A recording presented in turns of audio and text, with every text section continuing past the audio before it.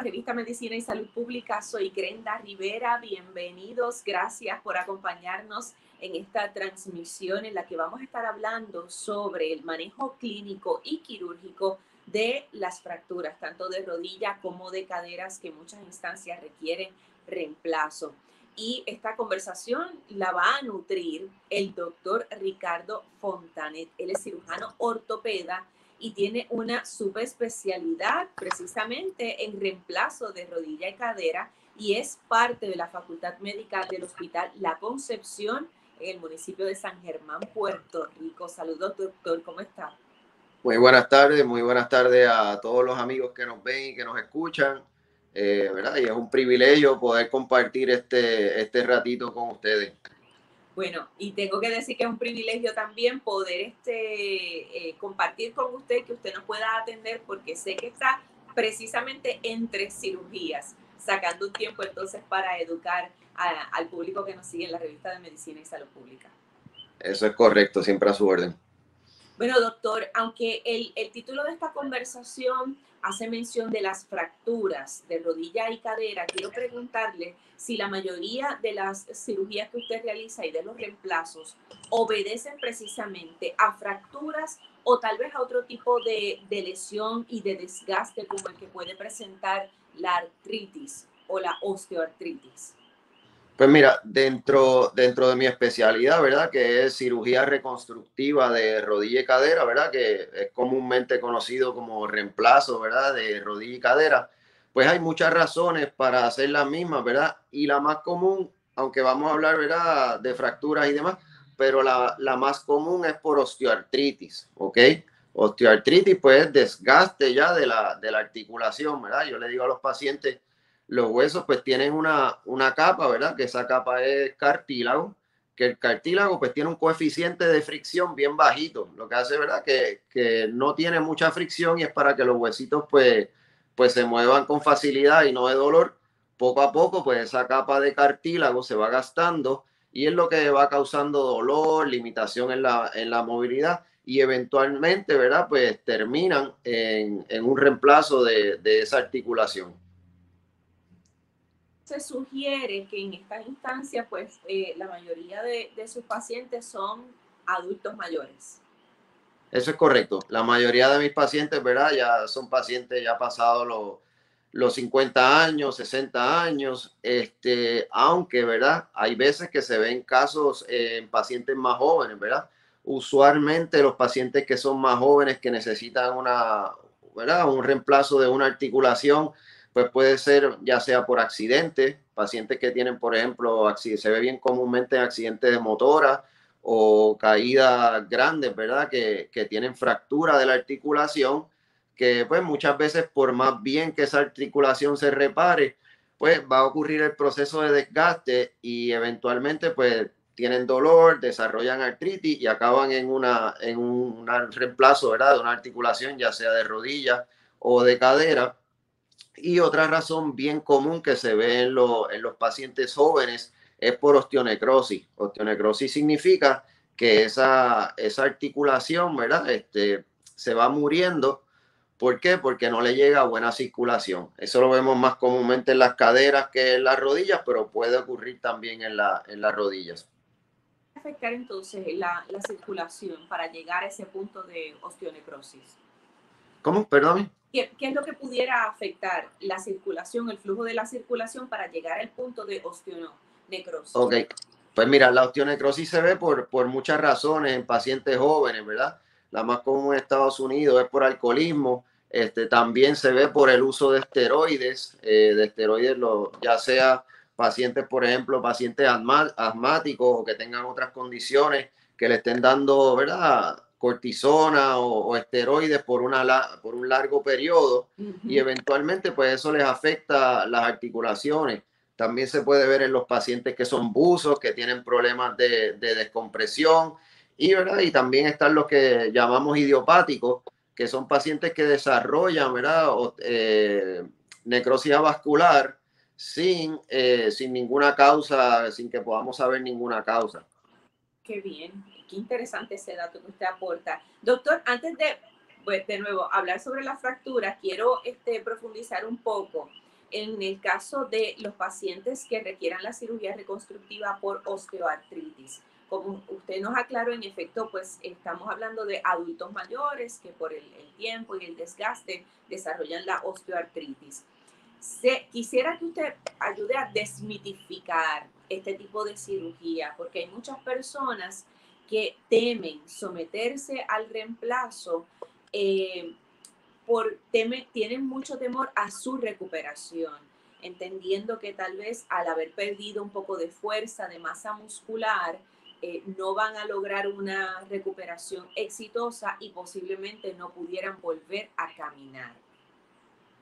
Ok, pues mira, básicamente verán los reemplazos ya sean de rodilla o de cadera, ya es, es una, un procedimiento que su, su razón principal, ¿verdad?, de hacerlo es para devolverle a ese paciente la calidad de vida, una calidad de vida sin dolor o con mucho menos dolor que, que tenía antes, con una mejor movilidad, ¿ok? Pero, ¿verdad? Es bien importante, esto es una conversación que yo siempre tengo con, con los pacientes y, y, los pacientes míos que me escuchan, ¿verdad? Este, pues deben decir, eso fue exactamente lo que él me dijo, y es que, ok, la osteoartritis gracias a Dios, ¿verdad? Pues no es, no es una condición, ¿verdad? No es que requiere cirugía de inmediato, ¿ok? Lo que uno trata es el dolor y hay, una, y hay unas opciones, ¿verdad? Que son no quirúrgicas antes de llegar a, a ese a una prótesis, ¿ok? Y esas opciones pues son, se le pueden dar antiinflamatorios a los pacientes, se le pueden dar medicamentos para el dolor como es acetaminofén, esos pacientes pueden tratar de perder peso, eh, puede usar, modificar las actividades que le dan dolor, eh, pueden usar hielo, calzado cómodo, tratar, eh, ¿verdad? Si hacen trabajos de, de, alto impacto, tratar de limitar esas opciones. En adición a los pacientes se le puede inyectar la rodilla o, la, o las caderas para el dolor y ya cuando nada de eso funciona, yo le digo a mis pacientes, pues entonces ese es el momento de empezar a considerar operación pero la, la, la, cirugía de reemplazo de rodilla y cadera es una, es una operación que el paciente es el que decide cuándo se opera, ¿ok? Y va a depender del dolor. Por lo general uno le dice, mira, cuando el dolor ya, lo que yo les digo es, cuando usted se levante pensando en el dolor, almuerce pensando en el dolor, se acueste pensando en el dolor, su pareja, sus amistades le digan, mira, vamos a ir a, ¿verdad? ahora tenemos el COVID, que no estamos yendo saliendo mucho de la casa, pero le digan, mira, vamos a una fiesta, vamos a un, antes, ¿verdad? Vamos a un concierto, vamos al cine y le digan, mira, en realidad no quiero ir porque me duele mucho la cadera o me duele mucho la rodilla, pues ya ahí su condición le está interfiriendo significativamente con su calidad de vida y quizás es el momento para operarse. La operación, ¿verdad? De reemplazo de rodilla y cadera ha evolucionado, ¿verdad? A través de los años los implantes se han puesto, ah, se han ¿verdad? modificado y se han puesto mejores para que duren cada, cada vez más. ¿okay? Eh, los plásticos, que es lo que se usa, pues, eh, ¿verdad? En, en, la articulación, ya cada día son mejores, se, se empacan de una mejor manera para que disminuyan el riesgo de revisión, al igual que la cirugía, ¿verdad? En mi caso, pues, yo, aparte de hacer el procedimiento tradicional, que es el abordaje posterior, ¿verdad? Hago también cirugía menos invasiva de, de la cadera, que es el abordaje anterior, que verdad que en algunos pacientes pues disminuye el dolor, la recuperación es más rápida. Y uno pues ya hoy en día con si lo haces siempre y cuando verá lo haga un cirujano cualificado, un cirujano responsable eh, y bien entrenado, el, un reemplazo de rodilla o un reemplazo de cadera le debe dar una vida básicamente normal a ese paciente. Eh, yo tengo pacientes que son surfers, uh, estando aquí en el área oeste, claro. que se operan y, y, que su trabajo es dar clases de surfear. Y de hecho, tengo, tengo un paciente que me está invitando a las Maldivas a ir a surfear con él, pero las horas son muy grandes para, para mi nivel de talento.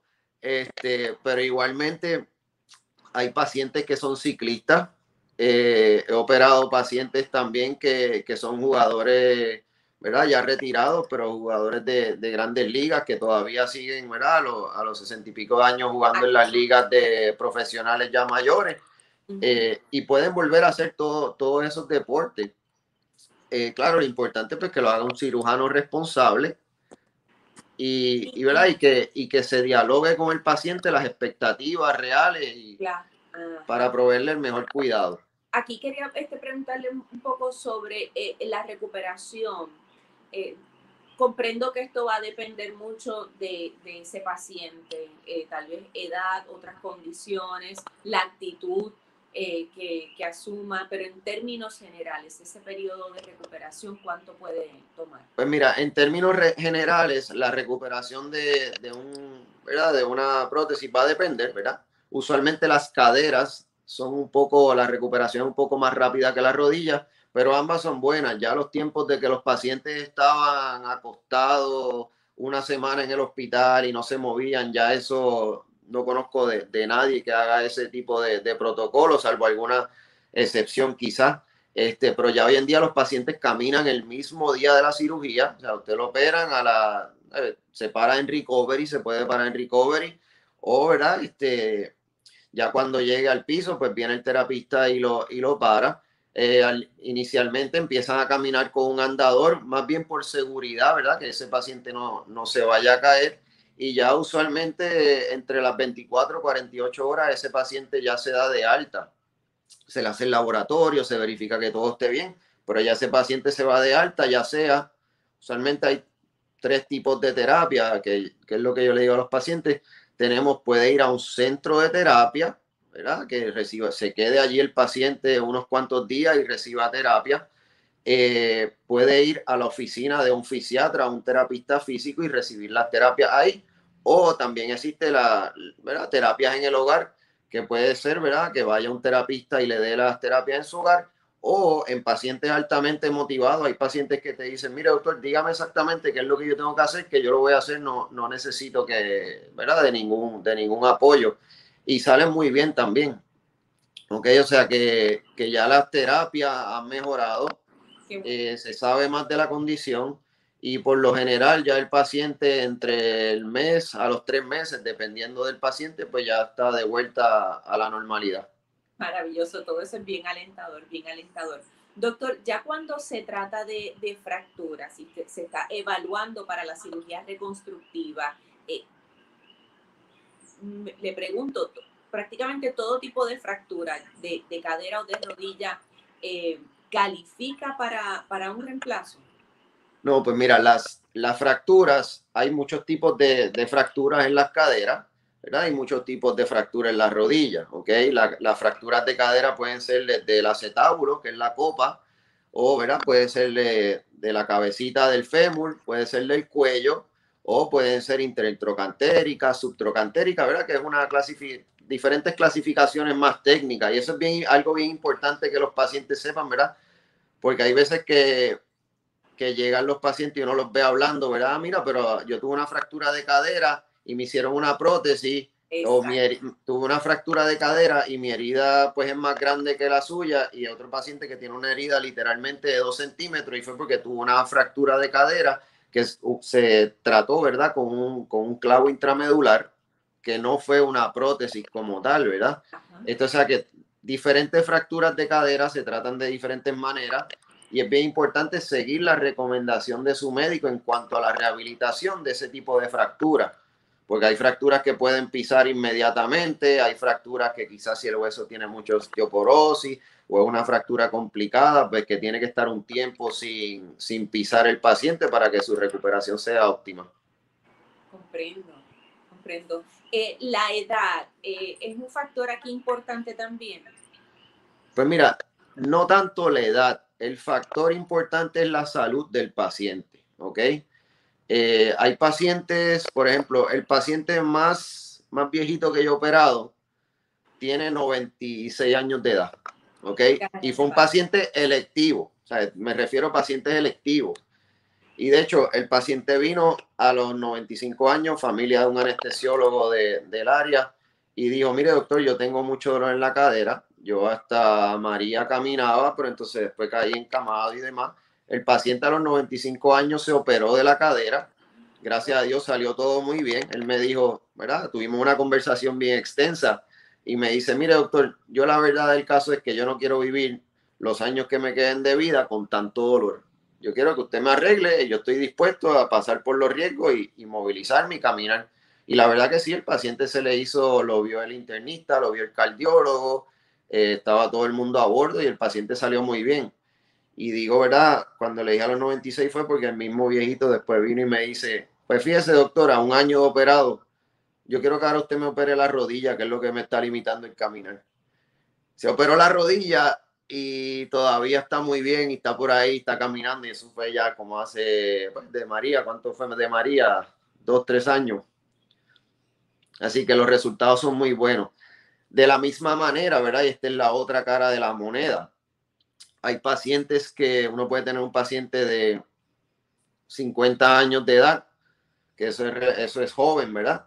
Este, que son obesos, tienen enferme eh, son diabéticos, tienen enfermedad periferovascular severa, este, que tienen úlceras en algunos casos, ¿verdad? Y pues esos pacientes no son candidatos para hacerse una prótesis, a pesar de que, de que apenas tienen 50 años.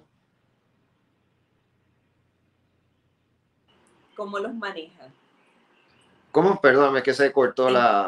sí, sí usted dijo que, que este, ese tipo de, de pacientes eh, con otras condiciones que son crónicas, que no serían candidatos para una prótesis, entonces, ¿cómo, cómo los manejan?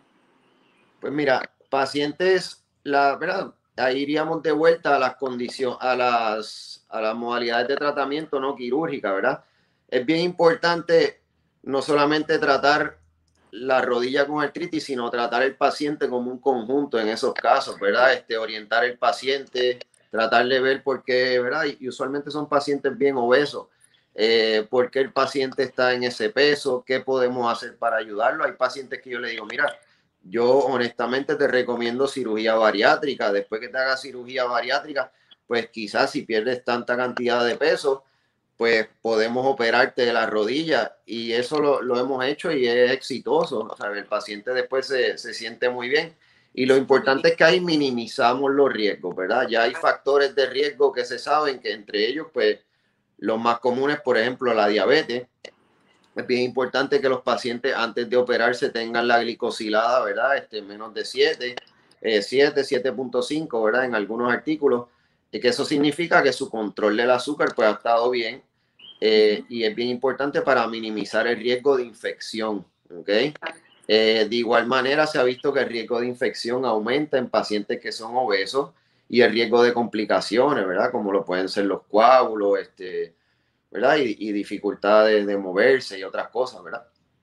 Este, o sea que es bien importante a esos pacientes ver cuál es su problema principal, tratarlo y entonces pues se vuelve a, a evaluar a ver si se puede operar. Igualmente pacientes con, con úlcera, puede haber un paciente que tiene una úlcera por X o Y razón, lo ve el cirujano vascular, le repara la, el problema vascular y eventualmente ese paciente se puede, se puede operar.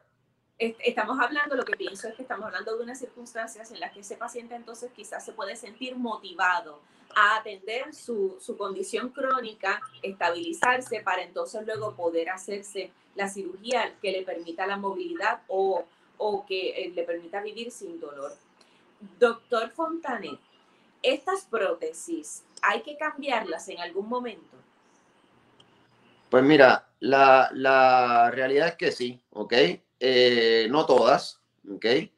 Y por eso es que pues, uno trata de, de, los pacientes, ¿verdad? Ofrecerle esto como la última opción y que ya sean, ¿verdad? No sería, no es una es una cirugía que uno trata de ofrecérsela a pacientes que ya son mayores, que ya uno sabe que el riesgo de, de tenerlos que revisar pues va a ser menos.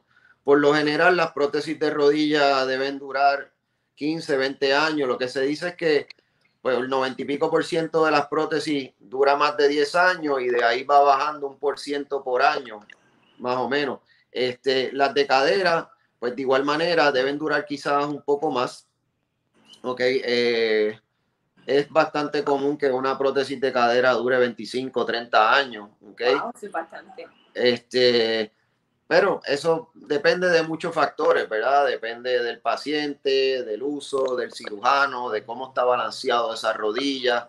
Y pues esas son nuestras metas como, como cirujano reemplacista, es tratar de poner esas prótesis en la posición óptima eh, en, el en el balanceo idóneo para que tengan la, la mayor sobrevida posible.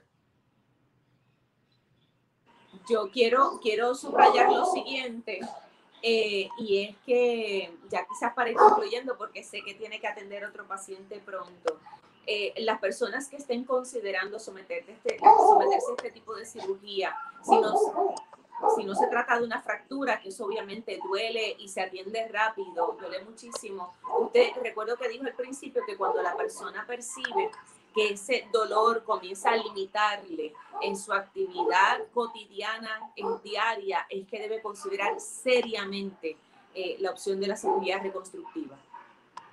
Sí, eso es correcto, tú sabes, el, una prótesis, si un paciente, por ejemplo, va a la oficina y te dice, doctor, me duele poquito, yo me tomo una Tilenol, una Panadol y se me alivia, pues tú sabes, y me dura tres días el medicamento, pues en realidad eso es un paciente que, que uno no considera hacerle una prótesis, ¿verdad?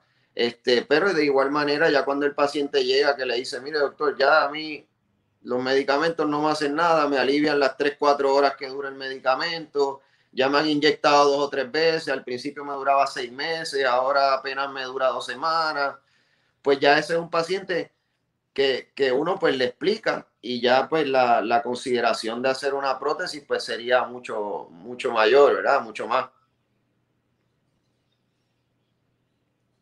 También quiero, quiero destacar lo siguiente, doctor, eh, eh, es que recientemente escuché de una persona residente en San Juan que precisamente acudió a, al Hospital La Concepción para hacerse una cirugía de reemplazo de cadera eh, eso sugiere, no, supongo que habrá sido como usted, no tengo la certeza, pero eso sugiere que hay eh, mucha confianza en, en, su trabajo y en su subespecialidad.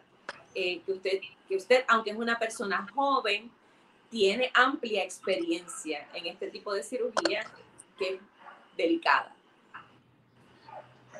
Pues muchas gracias, es para mí un elogio, ¿verdad? Este, pues atender pacientes de lejos y sí, em, atendemos pacientes en mi oficina de, de toda la isla, de, de, Fajardo, de Macao, de diferentes lugares.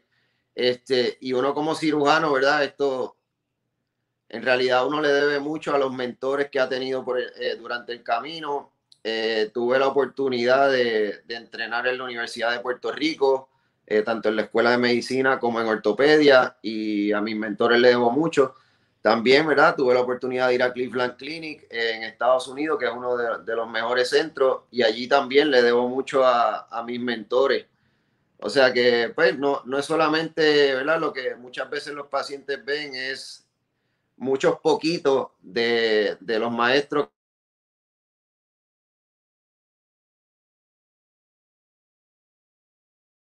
excelente. Pues lo felicito, lo felicito, este doctor Fontanet, le agradezco su tiempo de nuevo, eh, porque sé que está ya prácticamente de, noche y, todavía le queda bastante trabajo por realizar, así que em, nos despedimos por ahora para que usted entonces pueda enfocarse en, en esa subespecialidad y en salvar y o mejorar la calidad de vida de otro ser humano. Muchas gracias y gracias a, a, usted, ¿verdad? Y a todos los amigos que nos, que nos escuchan y nos ven. Ya saben, doctor Ricardo Fontanet, cirujano ortopeda con esta subespecialidad en es la cirugía reconstructiva de rodilla y cadera y que es miembro de la Facultad Médica del Hospital La Concepción en el municipio de San Germán, en Puerto Rico. Yo espero que esta conversación y esta orientación que nos ha provisto el doctor le brinde tranquilidad a las personas que estén en necesidad de una intervención quirúrgica de, de, este tipo. Ya saben que la recuperación es rápida, es posible y respectivamente de la edad. Y ya saben que lo bueno se comparte. Así que esta conversación queda en la página de la revista de Medicina y Salud Pública para que ustedes le den like y también le den share. Será hasta la próxima. Que estén todos en salud.